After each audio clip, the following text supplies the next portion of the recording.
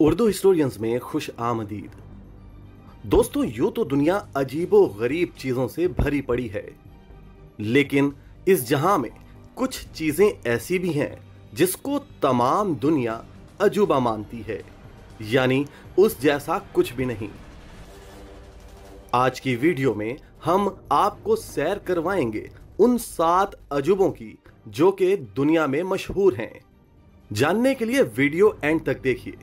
अगर चैनल पर नए हैं तो सब्सक्राइब कीजिए और बेल के आइकॉन पर क्लिक कीजिए ताकि आपको आने वाली हर वीडियो का नोटिफिकेशन मिलता रहे। ताजमहल।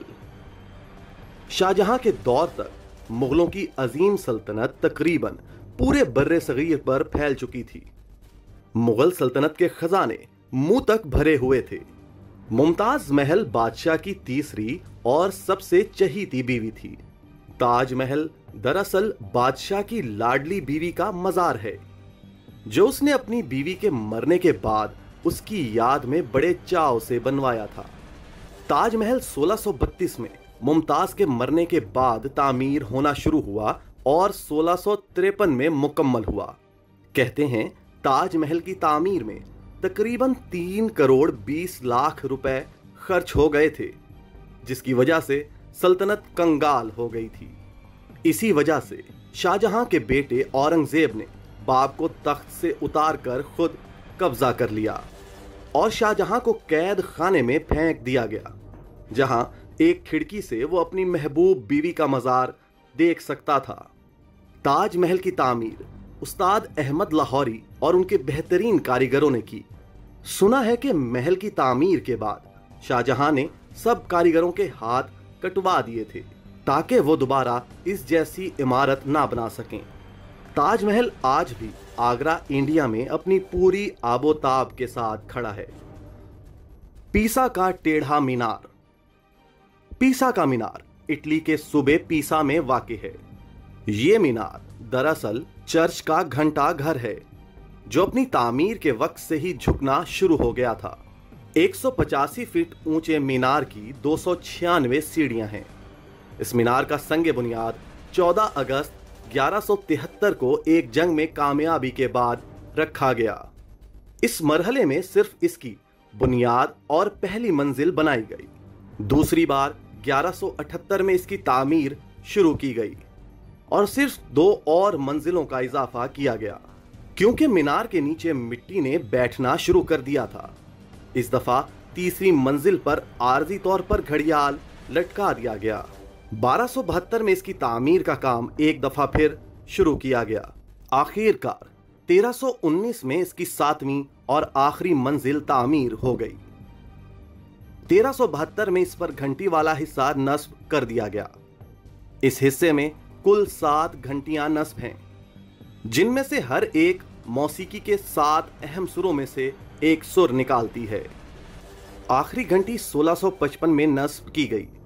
1990 से लेकर 2001 तक इस मीनार को कुछ सीधा करने और इसकी झुकी हुई सिमत को सहारा देने का काम किया गया, जिसकी वजह से मीनार, जो कि पाँच अशारिया पाँच डिग्री झुका हुआ था, इसे कम करके तीन अशारिया नौ नौ डिग्री कर दिया गया।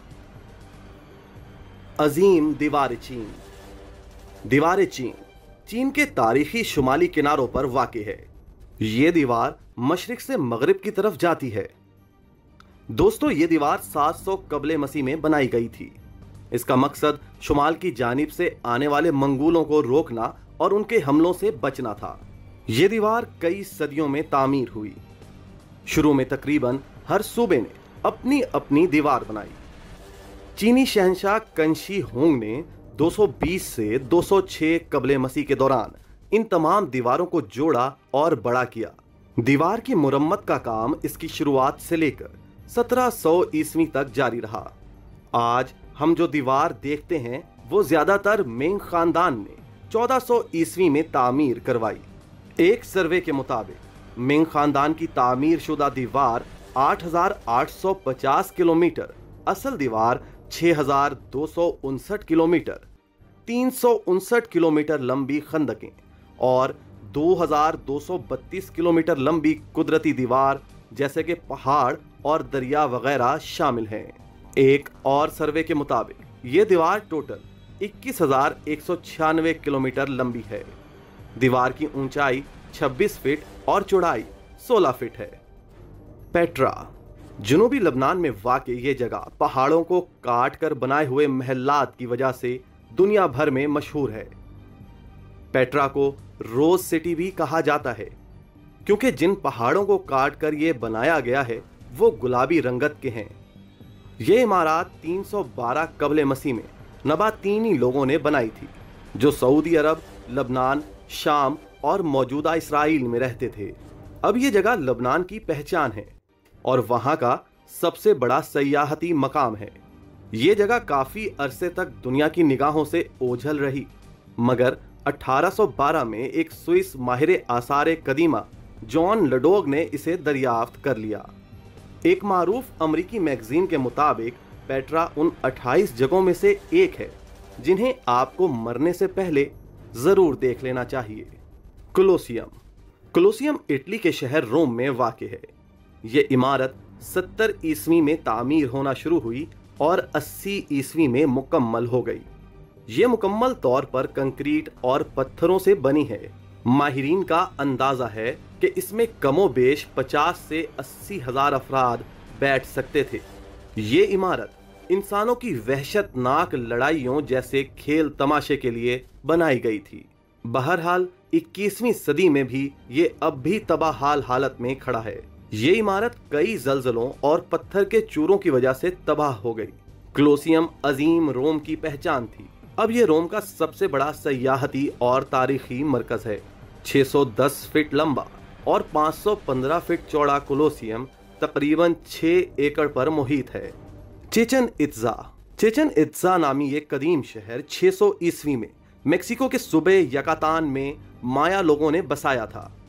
यहाँ पर बेशुमार इमारतें अपनी असल हालत में मौजूद हैं। ये शहर माया तहजीब का सबसे बड़ा शहर था।